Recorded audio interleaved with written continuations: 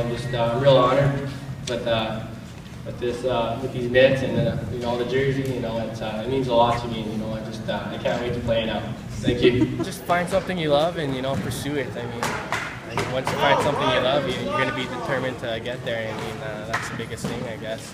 Yeah, you know, it feels good. You know that the kids look up to me. You know, that means you know I got to be a gotta gotta always be a professional all the time off ice and on ice. You know, it's uh, it's good, but you know, I'm, uh, I'm real excited to get into the schools and talk to the kids.